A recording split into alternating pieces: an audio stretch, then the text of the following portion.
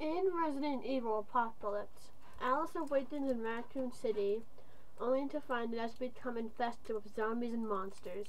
With the help of Jill Valentine and Carlos Oliveira, Alice must find a way out of the city before it is destroyed by nuclear missile.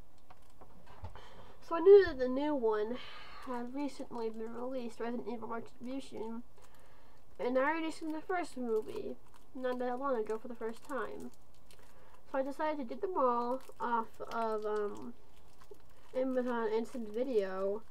Only um, I uh, I had the first one, and I had um, taped a while ago Afterlife. So um, I got Resident crap. I got Resident Evil um, Apocalypse and Resident Evil Extinction off um off uh, Amazon Instant Video. So right now I own them all except for Afterlife. So let's talk about Apocalypse. Resident Evil Apocalypse was a very interesting movie. It started off not very good, but it ended very well.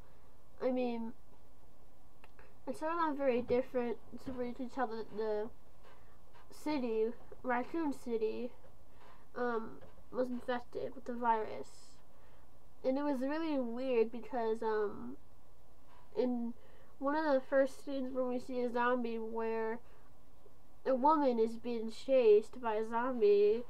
It shows the zombies is doing all shaky and weird things. It was weird. It did have some cheesy lines, but um, I think when Alice showed up with the survivors, it got pretty good. Um, I mean, it wasn't as good as the first movie, but it was still entertaining, and I would watch it again.